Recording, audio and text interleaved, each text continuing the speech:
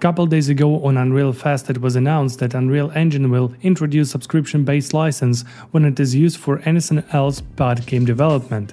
There was big amount of disinformation currently going on and in this video I would like to talk about it and explain what actually happened and who will be affected on my opinion by the changes that will come next year.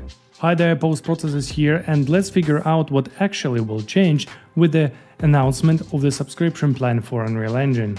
On October the 3rd on Unreal Fest, Tim Sweeney, the CEO of Epic Games, addressed Epic Games layoffs and mentioned that for Epic Games to run business successfully, they need to find another income sources and that would be achieved with a subscription plan for different industries besides game development. You can watch the full video by the link in the description, but Tim is such mumbler that it's really hard to understand what he says, so I will make it in writing quotes. As Epic Games faced some financial struggles a few weeks ago and needed to act quickly on it, they laid off around 16% of employees. And introduction of subscription plan is the part of strategy to make company financially stable. Tim recalled that other engine royalties have been discussed recently in the industry. Starting next year, Epic will move to a seat-based enterprise software licensing model for non-game developers. So game developers will still be able to use Unreal Engine for free until a title they ship earns over $1 million in revenue and 5% share after that remains the same. It's fundamentally how Unreal Engine is funded now, which is basically breaks down to if you succeed, we succeed. For game developers nothing changes, which is good, but if you work in another industry you would need to get a license. Unreal Engine right now gets more and more implemented in film, commercial and automotive industries. It's currently used for virtual production, previews and even some VFX and composure. Also, some commercials in the automotive industry are completely made in Unreal Engine. And Epic Games doesn't get any royalties from this, but it's massive market. Starting next year, production or post-production companies will need to buy license per seat in order to use it in commercials or movies when they ship the product. It is not going to be unusually expensive or unusually inexpensive. New model will be similar to software like Maya or Photoshop, Tim noted.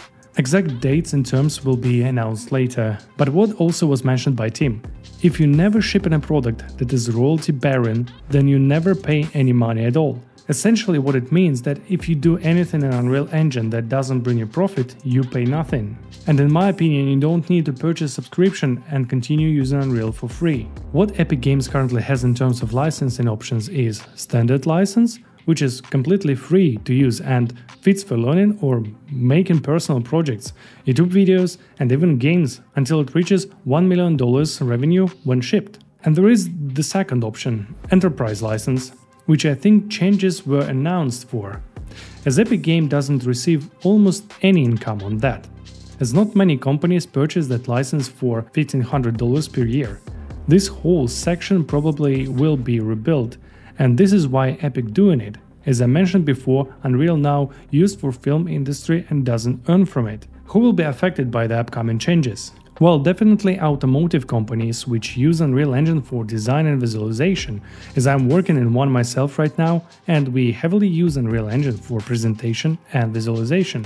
Hollywood movies or any film production and post-production companies that do music videos and commercials using Unreal. For example, Barbie movie used Unreal Engine during filming. All of you and me as individuals probably will not be affected unless we ship final products and make gigantic revenues from that. But most of the time you collaborate with some production company when you make something for a big brand, and it's not your burden to bear the costs covered an Unreal Engine license. I always include licenses in invoices, for example, sometimes I need to use Maya and I don't pay for that myself. I either ask company to provide me with license or cover the cost of it.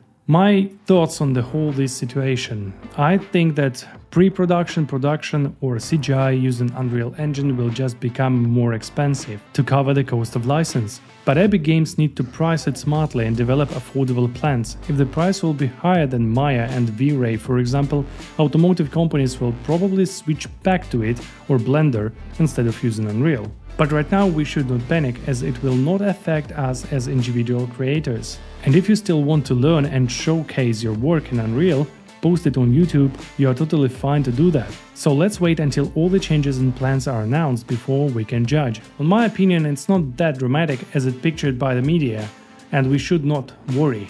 Yet. Let me know in the comments what do you think about this, and thanks for watching. See you in the next one.